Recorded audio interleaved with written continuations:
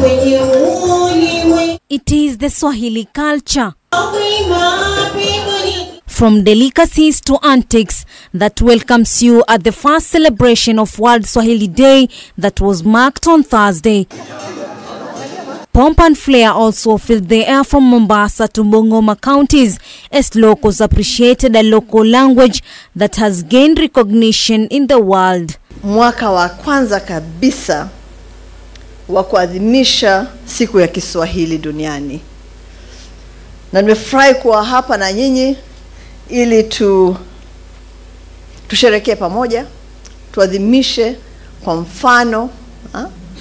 kwa sababu tumeambiwa na profesa ya kwamba Gracing similar celebration at the Kenya National Museum in Nairobi were sports CS Amina Mohammed and her tourism counterpart Najib Balala who had a message for the youth. Kiswahili kilizaliwa wapi? Hapa hapa kwetu Kenya. Kwa hivyo lazima sisi tusherekee kuliko wale wengine wote, wale wako Paris na wale wako New York na wale wako nchi zingine zote za, za Afrika. lugha hii itumike kwenye mambo ya mambo ya vio vya ufundi vya chini ambayo ni TVET, pia itumike.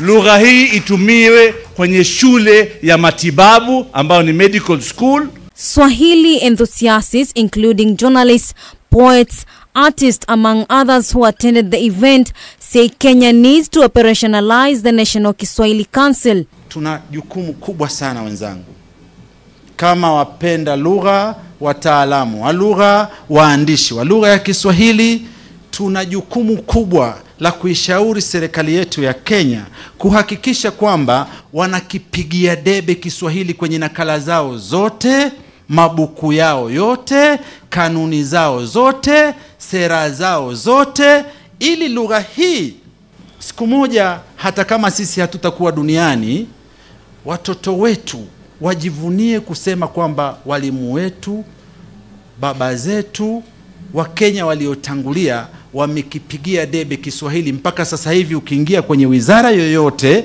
unamsikia mtu akizungumza lugha ya Kiswahili.